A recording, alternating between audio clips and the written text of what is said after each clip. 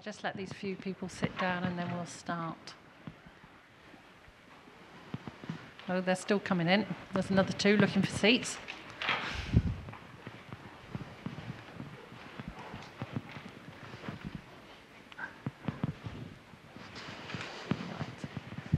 Good afternoon, ladies and gentlemen. Welcome to this afternoon's plenary session. This one's going to be split into two, so we'll have two speakers with me chairing, and then we'll have Rowley chairing for the lightning talks.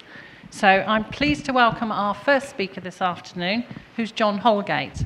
And if you've been to previous Networkshops, you'll know he's given a number of talks as a parallel sessions, which have been highly entertaining. John is head no of the network division at Cambridge University, which provides network and telecommunication services across the whole Cambridge estate. And that spans the whole of the city. He's going to talk today about building his own fibre network. So, John. Thank you. Um, so this isn't my first talk. If I look familiar to some people around here, I've always wanted to do this. Um, I'll have the photo later. Right, okay, so I'm going to talk about, um, I certainly didn't build the fibre optic network. I'm going to talk about 25 years of Cambridge University owning a fibre optic network uh, and, and, what we're expanding with it. So it's come up to the silver anniversary. Uh, 25 years as you get a little bit older, which is pertinent because it's my birthday today. Um, thank you very much. Uh, 25 years doesn't seem as it kind of time flies and you forget how long 25 years ago is. So to remind you what it was like 25 years ago, uh, Clinton had just been elected president of America. Uh, a future host of The Apprentice show uh, was making his name in business, which was not that one, the Alan Sugar one.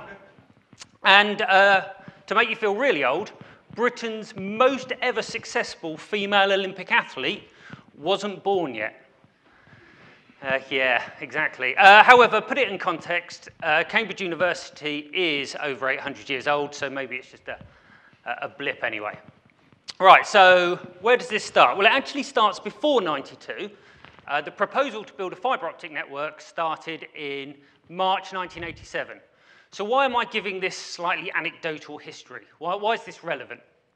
Because uh, there's a few odd things about it being March 1987. Uh, the web was created in 1991, which is peculiar because somebody planned building a fibre optic network before the web exists. Now, we're all smart networking people. We know that uh, the internet is more than the web, right? Well, here's another date for you. Here's the uh, request for comments 1020, which a colleague of mine pulled out. And I think the format doesn't work because it hasn't been changed. There we go. It was November 1987, and this allocates the IP addresses for Cambridge University. So eight months after the plan to build a fibre optic network, we then get allocated some IP addresses, which is strange in itself. Um, you can see there that we get the 232nd Class B set of addresses, because all the Class B start at 128, and the R beforehand, for interest purposes, means it's a research group. So why are we doing this? Why would anybody build a fiber optic network prior to having an IP network? Uh, let's go back a bit further then. Let's go back to 1822. Uh, Charles Babbage. Um, this guy is really the father of computing. 1822, he wrote a grant application to the British government. He's a, a Cambridge University academic to design a, a difference engine. So this is a piece of equipment that will turn log tables and automatically convert them, something that used to be done by humans or a human computer to give them their full title. Um, they awarded him £1,700 the following year in 1823, and like good, uh, all good academics, he worked on it for a bit until he got bored and gave up, and then started his next project, which was the analytic engine, which was some 20 years later. Um, two interesting things to note. One, the British government, after he failed to deliver a difference engine, started buying them from the Germans in the 1850s. And two, the first programmer of the analytic engine was Ada Lovelace, who was a woman. So there you go, first, first first programmer was a woman. Uh, skip forward, 1930s. Maurice Wilkes at the university, he's a maths guy, decides that he wants to build an electronic computer with this guy, which you'll all find familiar because that's Alan Turing. They set up the computer lab. Uh, war happens, some unpleasantness. After the war, uh, EDSAC is built, the first electronically programmable computer. Uh, subsequently, Cambridge publishes the first programming manual, designs Kerberos authentication, and then later on in the 70s, Acorn Computing came out of Cambridge University, as did ARM processing chips, as did Raspberry Pis. The point being, it's a research university. It builds stuff for research. So in 1977, the first network was built, the Ethernet Cambridge Digital Communication Ring which had a speed of 10 megabits a second, which is actually pretty good in 1977. It took 36 years for me to get a better connection at my house. Third of a century is not bad. Okay, so the, uh, the information I got from the request paper or the submission paper is to build an optical fiber cable cabling across university and colleges and combining mainframe with other computers and personal machines. So we've got EDSAC, we've got these mainframe computers that are developed centrally. This is about connecting your local workstation. Principally, it was uh, about connecting classics. The classics thought it would be a really useful way of sharing books. Uh, the sciences weren't interested at the time, apparently, but times change. Uh, why Granta? So any of you have seen this awful, sickly TV show that's set in a village outside of Cambridge. Uh, same stem of the word. Granta is a tributary river to the River Cam. So it's just a, named after a river. Uh, building a network. So the network, once approved, and that's deliberately blurry, uh, I'll explain that later, takes four years, from 1988 to 1992. And it's installed in principally in three locations. Uh, before we get onto that, cost. 3.9 million pounds in 1992. If you want the modern money for that, double it. Roughly, it's doubled since 92. So it's a pretty expensive research project. It installed 36 kilometers of ducting. So this is plastic tubing under the roads and tray work. And it was installed in wine cellars, 2.2 kilometers of the stuff, green spaces, and carriageways. Right, so, so let's, let's dissect those three areas. Wine cellars. And bearing in mind, it's still running through these places. There you go, there's a wine cellar. Uh, there's the cabling. Hasn't come out quite right, but you get the idea. Um, couple of problems with laying cables in wine cellars. First of all, normally, if you want to pull a fiber optic cable, you open a manhole, you get a big van with a reel on the back, and you pull 100 meters of fiber down the street, and you can pull fiber pretty quickly. In a wine cellar, you have to do it by hand. So this is manually somebody going around a tray work and attaching a new bit of fiber optic every time you want to put in more capacity. This is not a very efficient way of working. The other problem is, is it's a wine cellar. Uh, so, so not all of the colleges in Cambridge have wine cellars, but some do. Uh, it's reputed that one of them has 160,000 bottles of wine in there. Um, or it should have 160,000 bottles of wine. There's a, there's a possibility that there might not be quite as much wine in there as there should be, and that delta is accounted for by a lovely Cambridge term, which is called wine leakage, which covers why there's less wine than there should be. So colleges have become sensitive to wine leakage as an issue, and now they don't just let anybody down there. You now have to be accompanied by a porter or a security guard who stays with you the whole time, which makes this costly, painful, timely. It's not a good place to run fiber optic networks. Uh, green spaces and soft dig. Soft dig literally just means in the ground, whereas tarmac is a hard dig, soft dig is soft. So Cambridge is a historic core. Um, there you go. These are two shots in the centre of town. To give you an idea of why you would put it in soft dig, to dig turf, The market rate for digging turf is about 20 pounds a linear metre to put your ducting down. To put it in footway, pathway, that's about 40 pounds a linear metre. Carriageway in the road, that's 80 pounds a linear metre. The difference between that and footway is you need a lot of traffic management. If you want to pull up cobbles, of which there's quite a lot in Cambridge, that's 120 pounds a linear metre. That gets expensive. So there's obviously an aversion to doing that. So we put it in, in green spaces. The trouble is green spaces, and there's a lot of them in Cambridge, is that people tend to build on top of green spaces, which is unfortunate because that's exactly where you put your fibre optic network. This is northwest Cambridge. We've had to move our fibre optic cable on several occasions. That's West Cambridge. And they come up with design plans. So you think you're moving the fibre to somewhere that won't be built on. And then, like all good universities, the design plans move. And then you find out they're also going to build on where you've just moved the fibre to. Even in city centres, uh, this is New Museum site, the, uh, uh, the fibre optic cables get dug up because they pull down buildings and they redevelop it. So soft dig and courtyards aren't very reliable. Roads are far more reliable places because they tend not to move or be built on very often.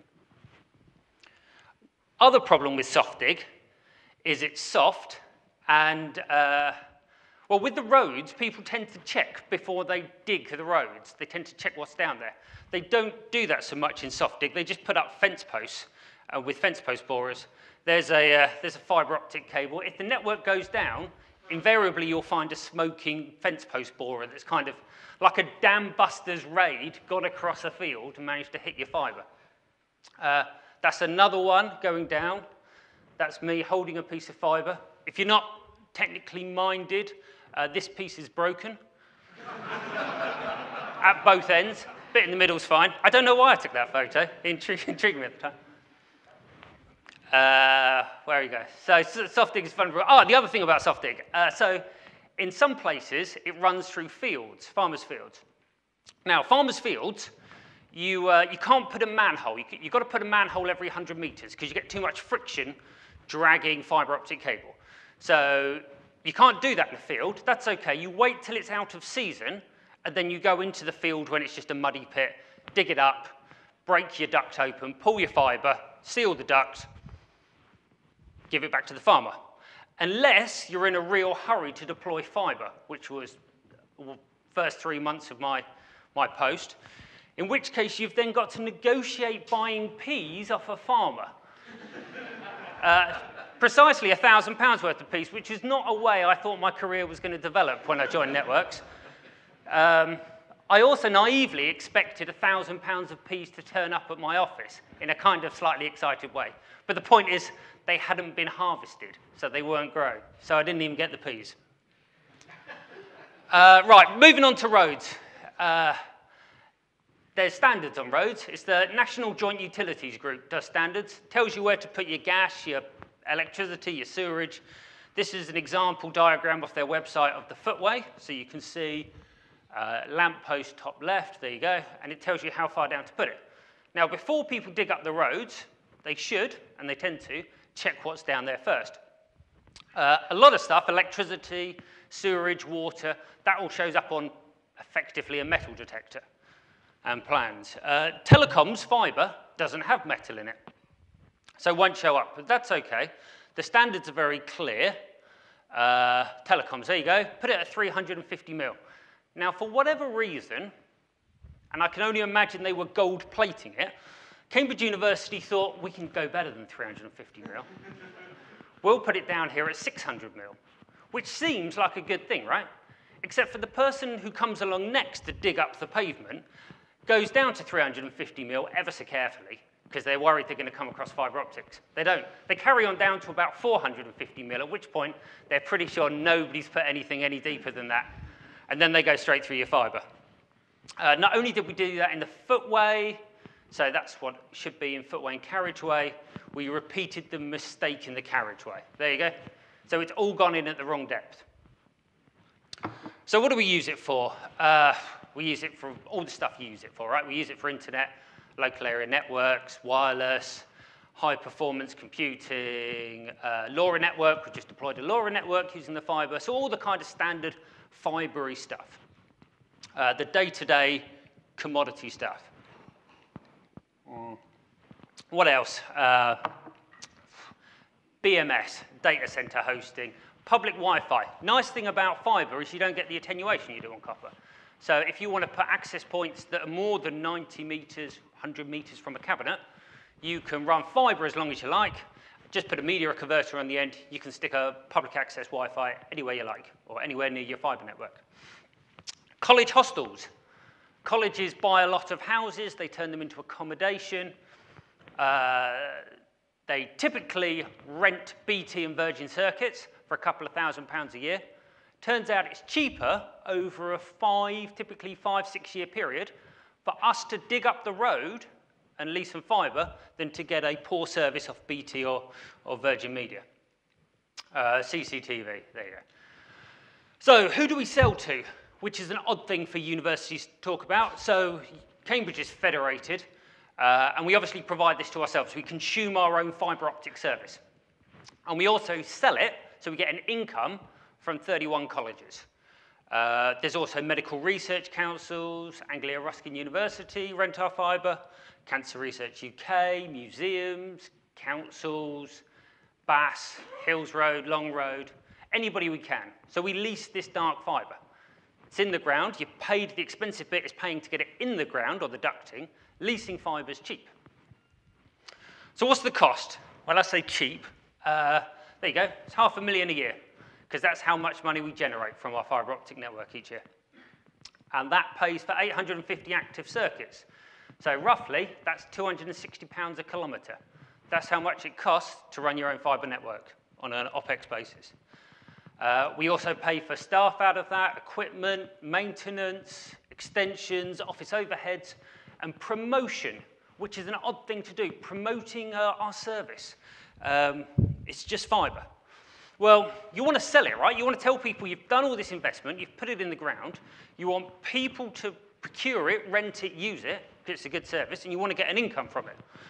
The trouble is, you can't tell people where it is. Because unfortunately, uh, undesirables tend to try to steal the copper out of the fiber network, which is not an outcome that works out very well for anybody in that scenario. Uh, so you want to show people where the network goes without showing them where it goes. So this was a, this was a problem. And then uh, a few years ago, on a trip to London, I saw this. And I thought, well, this is, this is obvious. This tells me exactly where the network goes without actually telling me where it goes. So we thought, how hard can that be? We'll have a go. Um, turns out it's quite hard. That's uh, neither of us are very good artists. Um, we used a computer because we thought that would be better than our artistic skills, and it wasn't. And then we went and got an, uh, somebody who knew what they were doing involved, and we got this which is quite good. Uh, we use it for promotion. It's taken off very well. We uh, print cases for iPhones and all that sort of stuff. We send out mugs. Uh, this one is our 25th year anniversary of it. So there we go. We've done a nice silver. Uh, that's not worked at all, but anyway, you get the idea. All right, so that's how we promote it. So we run a large fiber optic network. And last year, the European Commission was asking for submissions and approached us about submissions to do with the Gigabit Society. So this is about delivering high-speed internet connection services to both commercial or public sector and residential. So we run a reasonably large private fiber network. They invited us along and we submitted some information and we told them we thought that fiber's probably a good thing and we think it's the future um, and has been for 25 years. Um, and the paper came out in September. You can read the paper. It tells you that by 2025, the rest of Europe is going to aim for a minimum of 100 meg for, per household and a gigabit, ideally a gigabit for everybody. Uh, I was asked in the Q&A session about GFast. Why bother with fiber? Why not just use GFast? Now, I don't know whether you're all familiar with GFast. This is a collaboration between um, national network providers. So in this country, it's BT, and then every country has their equivalent. And GFast is a way of using vectoring or different frequencies to get more speed out of the tail. In other words, this is a way of sweating their existing copper asset, their tail asset, so they don't have to dig up the road and lay more fiber. That sounds like a potentially contentious position, Uh, but that is the position on their own website. They say specifically, this is about less fibre digging. Now, we think this is mad. We, we think the future has to be fibre. It's, it's the direction it's going to go because capacity is going to always increase. Vectoring gives you additional speed over GFast. And it's good. At the top, it gives you 750 megabits a second using your copper tail. So this is from the green cabinet in the street to your home, traditionally. So you definitely get a, a performance improvement. But look at the distance. It's 50 to 100 meters. Over 50 meters, the advantage of vectoring starts falling off a cliff edge. By the time you get over here, if this works, to 300 meters, you get no advantage. Unless your house happens to be next to the cabinet, vectoring's not really going to do a lot for you. If you're in a rural community and you're two kilometers, it's going to do nothing for you. So generic internet, uh, everybody, I've been to so many talks where people have tried to predict where internet consumption's going and then predict whether you're going to need copper or fiber. Look, as long as we presume time is linear and it's going to carry on moving and the data is going to go up, it doesn't matter how you draw that graph. Sooner or later, copper's not going to cut it anymore and fiber is. So our contention, and I think it's been shown at Cambridge University, is the sooner you make that investment and put the fiber in the ground, the quicker you get the return on investment. So you can get loads of graphs. People have tried to model what internet consumption looks like. It really doesn't make any difference. We think fiber is the only solution. It's the only thing that's going to act for the capacity and the speed. Actually, interesting, interesting anecdote. Uh, relationship manager. So we're, we're, we're extending, improving our network capacity to a location, a, a hospital location at, in Cambridge.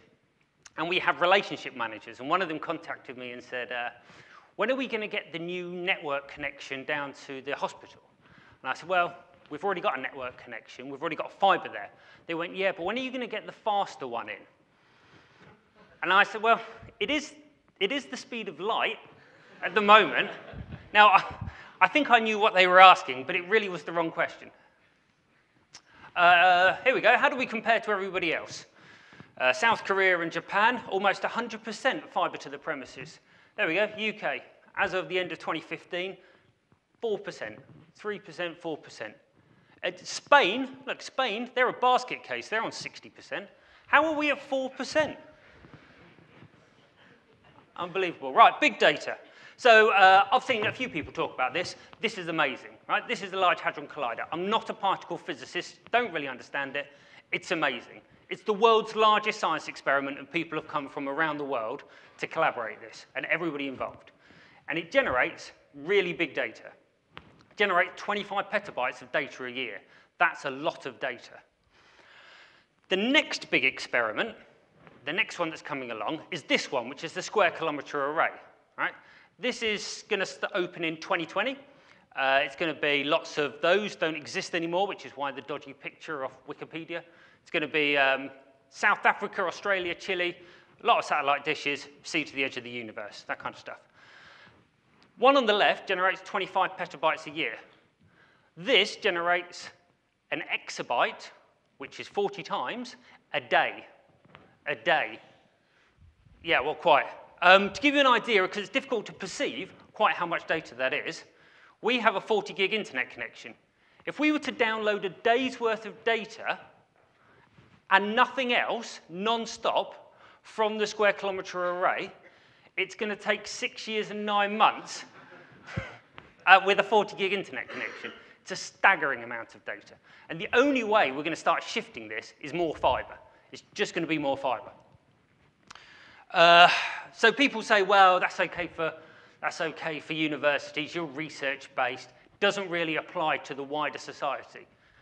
Okay, 2003, the human genome was decoded at a cost of $3 billion. You can now get, and that took 13 years, I think. I think it started in 1990s, 13 years. Uh, you can now buy Illumina, now do gene sequences that take eight hours and generate a terabyte of data. Um, For, my, for, for, Christmas this year, my parents bought me an ethnicity testing kit. Now, I thought this was an interesting way of telling me I've been adopted. um, but apparently not. Uh, this goes through some identifiers, markers, about a million pairs, and tells you a little bit about where your, your family history is from. Uh, £75 to buy that. So that was £3 billion to do the first human genome. 13 years later, it's £75 to do a DNA profile on me. That's amazing. That has commoditized so quickly, and that's only going to drop. Um, so other than me spitting in a tube and sending it off, which is how this works, right? Because we're still stuffing stuff in the Royal Mail and whatever delay that's adding. Well, AstraZeneca are moving to Cambridge. They're building a 400 million pound head research area. And they are banking on gene sequencing being for the next array of drugs, a, a range of drugs.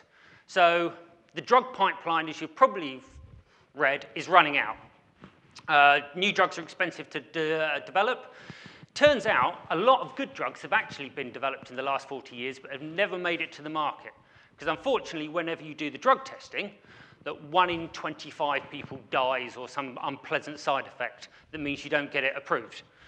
Well, the latest thinking is actually it's people with certain genetic markers uh, can't have a certain drug. But if you could identify who those are, you've already got an existing large array of drugs you can ship to the wider market that's been through most of the testing. Uh, that means these things are going to start turning up all over the place, and we're all going to have to get genetically tested in the not so distant future. And by all over the place, I mean Sainsbury's. I mean, these are going to be, these are going to be commoditized real quick. Uh, that's the new building they're building. We are going to make sure we're going to share data with them, very large amounts. So we're definitely putting our own fiber optic network into their building because we want to have collaborative research with them. Right. What lessons have we learned about running our own fiber optic network and expanding it? Because it was originally 36 kilometers, we're up to about 60 kilometers of ducting now. Standards. It's all about standards, standards, standards, standards. Um, they've all been written. They're all perfectly acceptable. None of us are smarter than the standards. Uh, don't gold plate it. Don't value engineer it. Just follow them. They're all written. Uh, data demand is growing. Look, we all see this. We intuitively know it's true. Data's going up. Sooner or later, we're going to need more fiber. So it's cheaper to get it in the ground now. Uh, we know fiber's the solution. We know it's definitely not copper, because copper has all sorts of issues with attenuation and cost and people stealing it and all the other bad things that is uh, uh, affected by copper. It's really cheap. It's really cheap. Building your own fiber optic network is really cheap. Uh, we have 850 circuits, and that costs us half a million pounds a year to run, effectively. If we were to go to the open market for 850 10 gig circuits, let's say we were getting them at 10,000 pounds each, eight and a half million pounds a year OPEX to reproduce what we're getting. Even if we're paying half that, it's four and a half million pounds. This pays for itself in a few years. All of our extensions pay for themselves within five or six years. So it's not expensive. It's really easy. It sounds complicated, it's not. It's really easy to, to lay down your own fiber. Uh, I can prove that because uh, these guys can do it. Uh, and this is, I mean, honestly, it's, it's like a poor man's right said Fred. It's, I mean, if, if, we can figure out how to run our own fiber optic network, it shouldn't be that difficult. Uh, there are, I don't know whether you've ever had them talk, but B4RN. Have you come across B4RN? So they are a community based up in Lancashire, I think, that have terrible connectivity. They do it themselves. It's a community of people. They get a tractor with a spike on the back. They run blown fiber through the fields. They get themselves really good internet connection, and they're doing it themselves. So it's not difficult. Right, final lesson. We shouldn't be doing this at all. This is crazy. Now, I know getting a few blank spaces, but you weren't paying attention at the beginning right? It was built as a research product. It was for researching. It's not commodity. The moment stuff gets commoditized, universities stop doing it, and we get the private sector to do it. Because they should be able to do it cheaper and more reliable and more efficiently than me. They're just not. The market has fundamentally failed in fiber.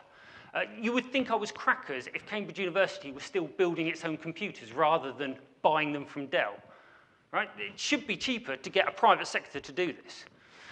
Um, we know BT Openreach is splitting with BT. We don't know how long that's going to take. Um, even after that, so I think that was announced in November, in December, DMCS, or DCMS, Department for Culture, Media and Sport, did a call for evidence, and that was about getting local fibre providers to open up their networks. They're basically acknowledging, in their call for evidence, that there is no competition out there for fibre. It's, it's a completely sterile market, and that unless you're providing it yourself, there's nobody for doing it. So unless, uh, or until the commercial sector, we're doing it ourselves. That's it.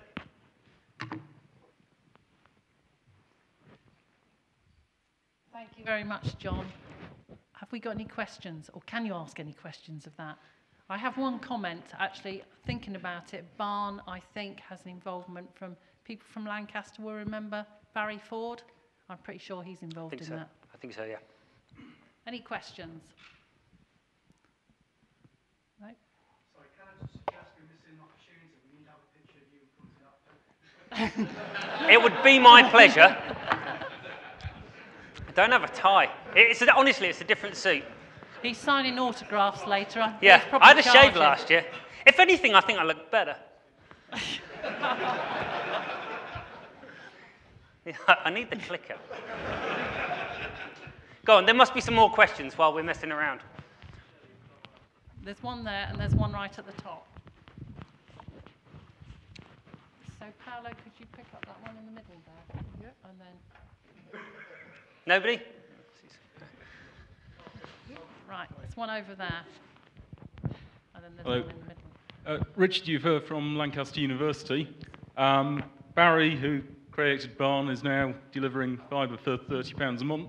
What I'd not realised is Barry's boss was Doug Shepherd for many years, and Doug Shepherd was the architect of your fibre, by the looks of it. I think so, so yes. it's a very small world. It is. And additionally, Barry is recruiting at the moment.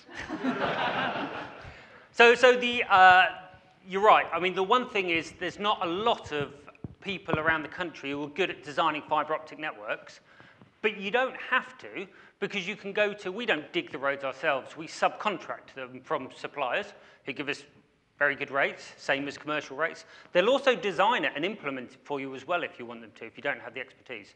So you don't need one of the few guys around the country who are good at this stuff. They'll do it for you. We've got a question there. Uh, yeah, hi. I'm just wondering what you use for um, being able to document what you've got patched. Do you, uh, do you do a lot of moves, adds, changes, and if so, Uh, so- how so do you keep on an- top of it? And That is an excellent question. Um, so I've been in this role for several years, and that image where I'm holding the fibre, uh, that was the first time I started to look in detail at our documentation, because um, when I came back, I was like, who's been disconnected? And they were, uh, they were accessing their record system on this to try to figure out, and it was literally notepad files, um, which circuits. So we're at the moment, we're in a project to implement a product called Intellify, which is, um, it's an industry standard piece of software which does cable management. It's really good. We're happy to give you a demo. Uh, we think we'll have that completely implemented by the end of the year. But it's, it's a cable management system that every ISP uses. Any more questions? Otherwise, I'm sure that uh, John will welcome birthday drinks in the bar later on. Thank you very much, John. That was excellent.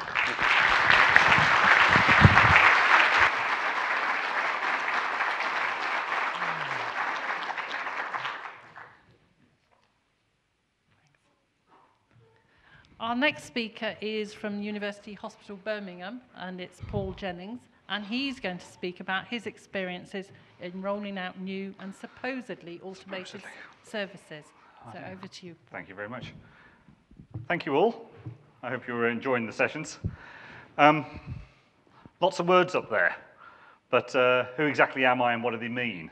Um, my name is Paul Jennings, and I'm the Head of Technical Operations Infrastructure at the University Hospital Birmingham. In short, I look after third line support, data center, um, I suppose network infrastructure and telecoms at the QE hospital. I'm going to share with you how IT is managed at the QEHB, how IT is seen as an enabler and not as a tool, and the approach taken to developing services in a challenging healthcare environment.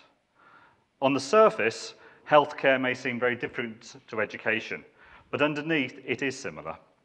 Each of us balance the needs of the users for the benefits of either students or patients. Our users are not computer people, but they are there to help others. We all need to be alert to the challenging factors, such as security, malicious or inadvertent, and information governance, all in a rapidly changing world where our users, patients, or students have high expectations.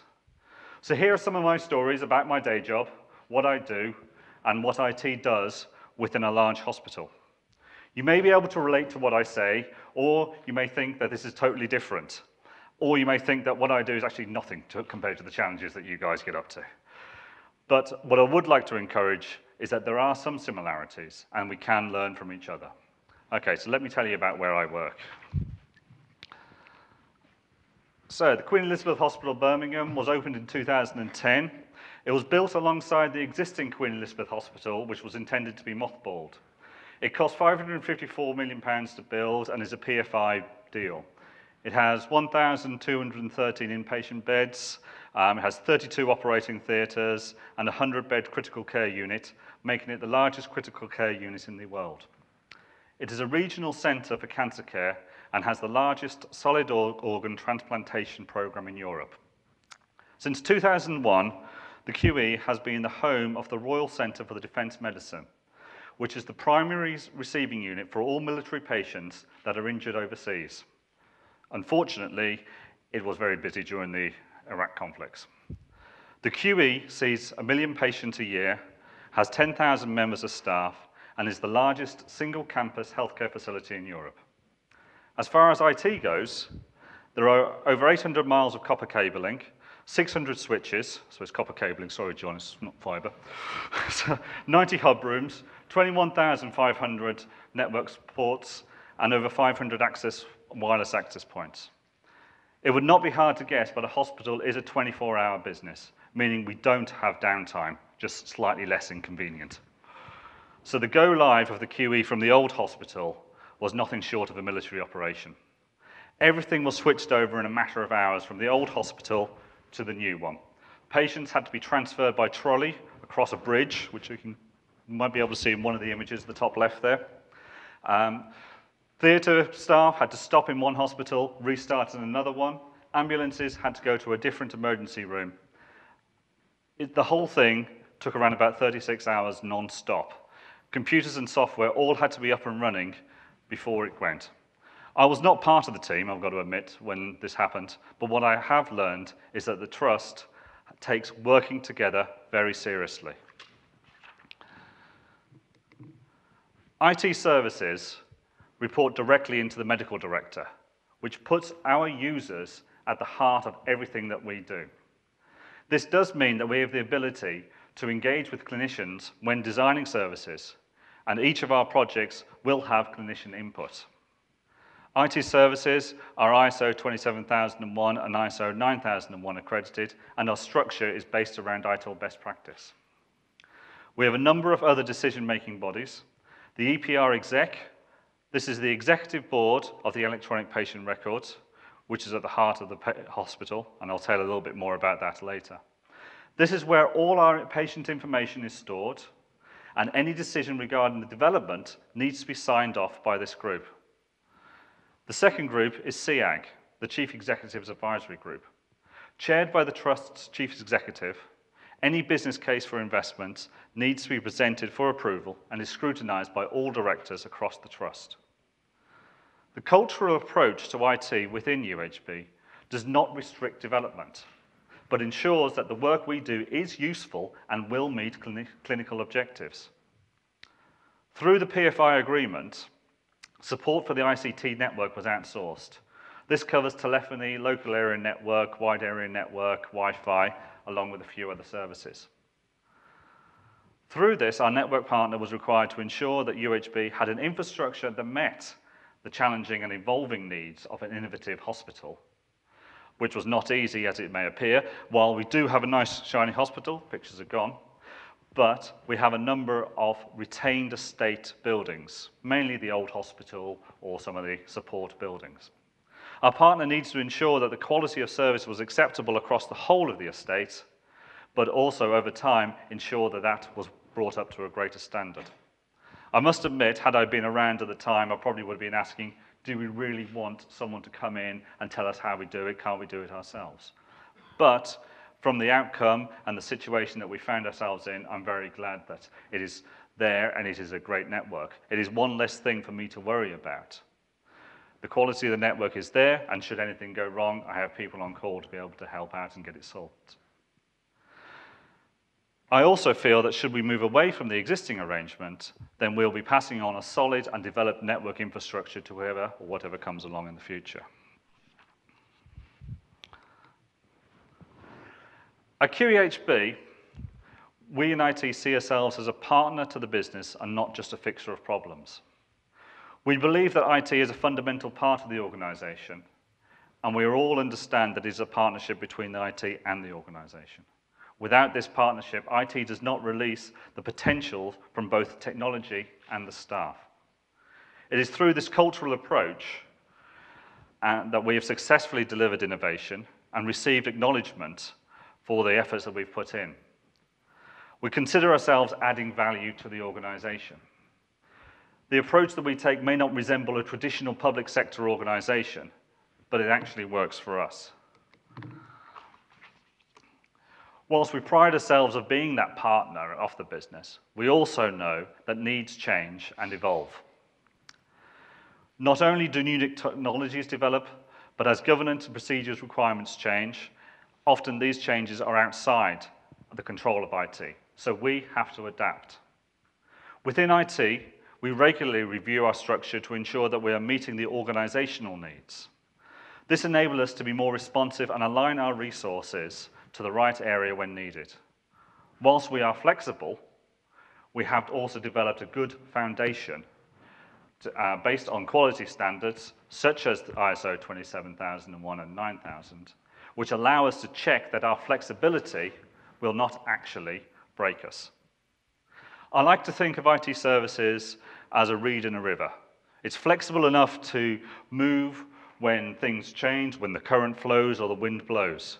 But it has solid roots and solid foundations to be able to stay where it is no matter what is thrown at it. One of the underlying foundations for IT services at the QE is the CAG. All changes followed a detailed change advisory process, held every Wednesday morning, and yes, I was there this morning. Change requesters have to submit any requests via quite a detailed change form at least a week before. This lead time allows for the change lead to review the submission and recommend any amendments. It is then distributed to a number of teams for approval, so it goes to testing to ensure that any, uh, the appropriate level of testing has taken place. Support to make sure that once the change is in, that there will be no unforeseen support issues. The program to ensure that if the project was part of a wider program, it has met its objectives. Technical design to make sure it doesn't fall foul of any of existing infrastructure. Information governance to make sure that appropriate privacy impact assessments have taken place. And the network to ensure that, again, the change will not have any detrimental impact on it. Finally, the submission is presented to the CAG board, which is made up of non-IT members with clinical, operational, and IG responsibilities. The change requester is required to reassure the trust via the CAG that the change will not have a lasting impact on the services provided and provide confidence that the change will be managed in a suitable way. The areas the CAG meeting does seem to focus on is testing, benefits realization, which may or may not be appropriate for the CAG, and the go live rollback comms plan. We also have a small change log which records any changes that with minimal impact that are not deemed necessary to go to a full CAG. I see the CAG as the final say as to whether or not the trust will accept the risk that the change may cause, hence the requirement that the requester needs to reassure the group. Over the last few years, the CAG has been an evolution. Previously, it was seen as a last minute sort of thing, and project managers were hurling kind of change requests in, and they were getting rejected. Today, project managers and requesters are engaging different parts of the organization a lot sooner. And that's delivering less rejections and delivering more successful changes. So I'm just going to come on to some of the solutions that we've actually delivered. So as the student record to you is the master information source in education, so the patient record is to me in healthcare. I'm glad to say that within UHB at least, brown folders full of patient notes being wheeled around on trolleys are rapidly reducing and have been for some time. I would like to say that we are paperless, but we're not. That would be lying. We're more paper appropriate. Whilst there are areas that still use paper, everything is scanned in to the electronic patient record. To meet the needs of the trust, IT have developed in-house a number of products that make up the electronic patient record. The first is our GP practice page. This is a tool developed by UHB which allows our GPs to see the hospital records of their patients. Just going to let you into a little secret. You might realize this. But just because we all work for the NHS does not automatically mean we have access to all NHS data. GPs have a pile, we have a pile, community have a pile. Access to medical histories, previous medications, or even end-of-life wishes are often a problem for a hospital such as UHB, which can receive referrals from a wide geographic area. Within Birmingham region, we are working with across the health economy to promote legitimate data sharing for the benefit of patients. The GP practice page is one such example. It allows the GPs to see admissions, read results, check correspondence, and it is in use with over 400 practices across the region on a daily basis. The second part of the patient record is the clinical portal. Again, internally developed, the portal is the gateway to viewing the whole picture medical staff have the ability to see the full patient history, including shared information from the live GP records. The clinical portal is made up of two parts, a document repository and a live lookups. When letters are created, they are automatically uploaded into the repository, and any documents received or paper notes created are scanned and added to the record. We also have a number of systems uh, which perform dedicated tasks such as imaging or medical results or lab results. The portal interrogates these systems using HL7 messaging and pulls back what data it can, presenting it in the portal, or, if necessary, links out to the host system. Just a few images of what we got. A quick glance at the portal. Um, so you've got, that's not going to work. So you've got a generic sort of lookup. You can see the demographic information. It's got an easy to read kind of sections on the specialities down the left-hand side. Role-based access ensures that only authorized people are entitled to view certain bits of information, and a simple layout means quick and easy navigation. This system has been around for a while, and so we are looking to revamp this. So a quick sneak peek, sneak peek of what's coming in the future. This again has been developed in-house, but using feedback from staff, overseen by the EPR Executive Board. It has been designed to give as much relevant information as quickly as possible based on patient information and also role-based access. It has already gained interest locally and from other trusts, and we're looking to roll this out on a commercial basis.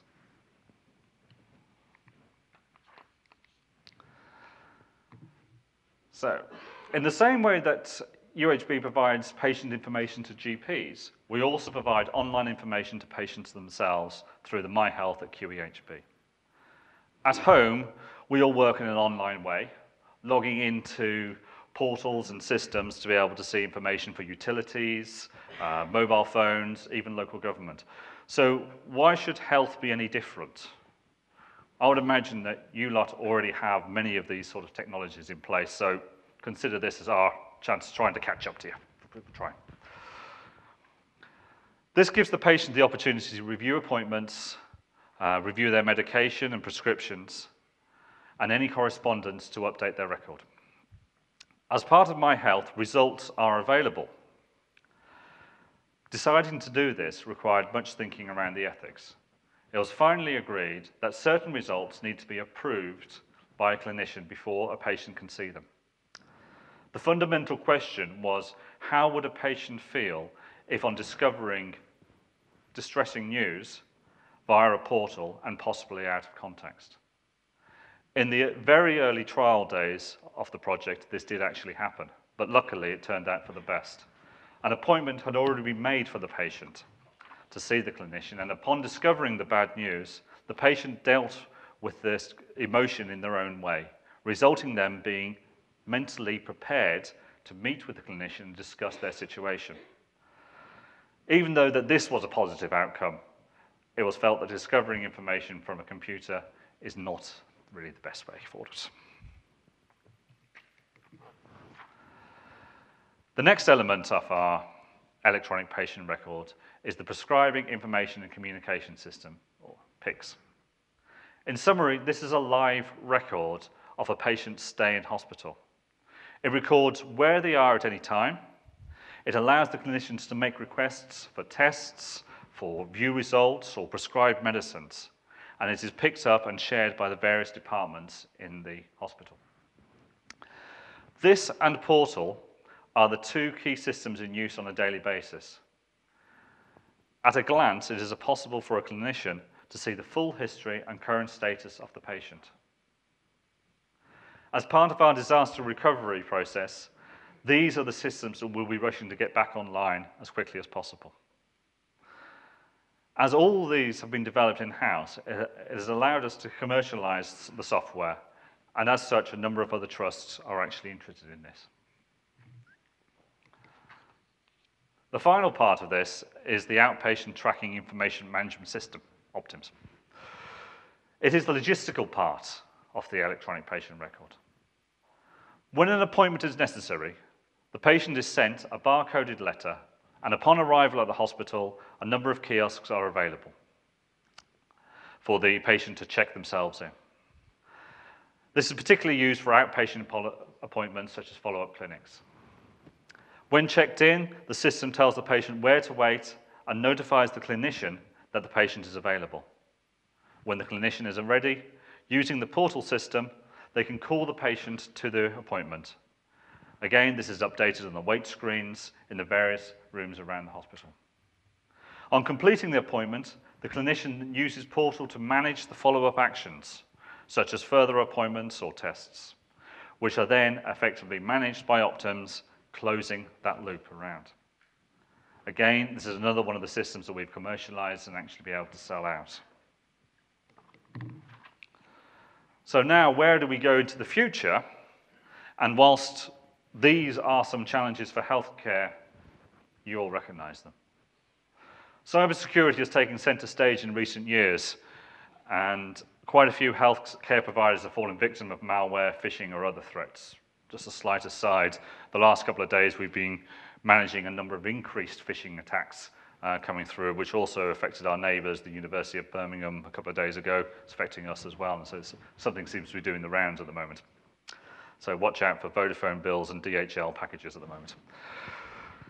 So um, managing and responding to these threats is not an easy problem to solve. Firstly, there is the engagement.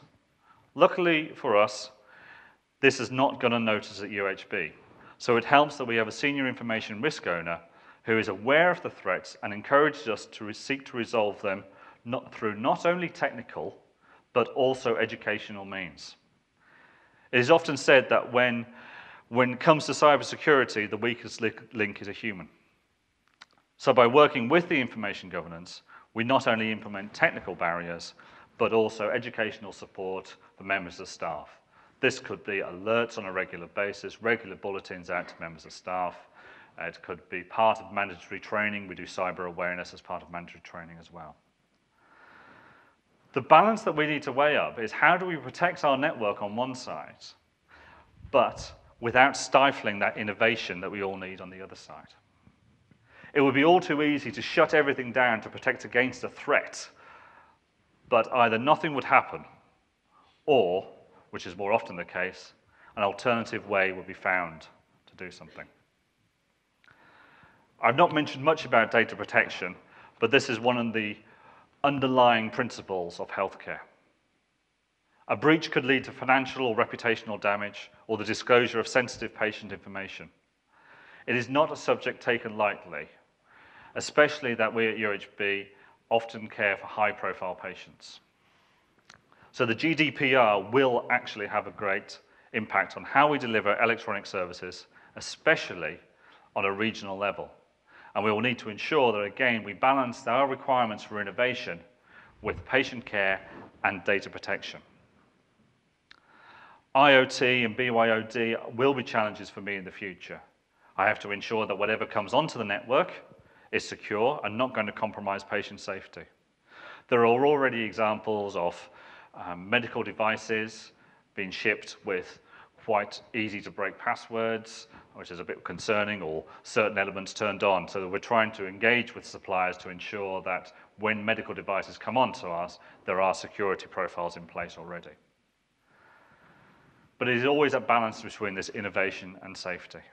Already we have examples of staff working around the system using other apps and other software to be able to solve problems that we as IT haven't actually addressed. A few quick future projects. We're currently writing the business case for an active-active secondary data center I was quite interested to pick up the stuff earlier about the data center. I'll be bearing that in mind. We're looking for a 60 rack off-site facility with a capability of commercial expansion. We have considered cloud, but there are issues around data security and on, on, ongoing costs as well, so we're still up in that one. Our partnership with our network support provider is coming to an end next year, and so we'll be looking into the next iteration of support that we need to take UHB into the 2020s. Over the next 12 months, we'll be creating the foundations for working closer with our neighbouring trust, who is also of a similar size to ourselves. We'll be looking to share services and systems for the benefits of the patients. And this will be a big change both culturally and also technically. So how do we actually bring all this sort of stuff together? As a bolt-on to our My Health product uh, mentioned earlier, we're going to add virtual clinics. This will allow a patient to meet with a clinician from their own home. The secure video solution will be held as part of the electronic patient record. And as a major referral centre, it's not uncommon for patients to live all over the UK. Having to travel for a short appointment can be tiresome and stressful. So we hope to improve patient care through this solution. We're also looking at how we can support junior doctors through task management and BYD, BYOD opportunities. Again, all linked to the electronic patient record. And finally, a couple of takeaways. And how we actually roll out services within healthcare at the UHB. We ensure that our foundations are in place. We have the infrastructure, the processes, and the change advisory group. We listen to our users through development and focus groups and executive boards and change boards. And we, as IT, are prepared to change in response to our business needs. Thank you. Thank you very much, Paul. Has anybody got any questions? Can I ask one? Of course. When do you think we'll just have one patient record that goes across the whole UK? Oh, well, that'd be lovely, wouldn't it? And it's Would secure. Yes, that's. Um, I don't know. Is the answer. I would love to be able to say it's there, but I think a lot of the different parts of the hospital and the health sector actually operate in different sort of ways. So while a GP record will be looking at different parts of it, um, they'll be in, speci- in certain specialisms. But at the end of the day, the, the view that um, the Caldicott Guardians, um, Dame Fiona Caldicott is actually taken, is moving away from it is no longer a health record, it is actually a person's record, and it's the start of that. And the, the new GDPR and the new, I suppose, Caldicott 2 or 3 we're up to, is starting to give much more support for the individual to be able to say, yes, you are allowed to see my records, no, you're not allowed to see my records. So that's why GDPR is actually going to be very important for us. Okay. That's very useful. Thank you. Any questions? Any more? Not sleep. Okay. Can I say thank you to both our speakers this afternoon? They've both been very good. Um, and I'm sure you can catch them at coffee break if you want to ask any questions. Thank you very much.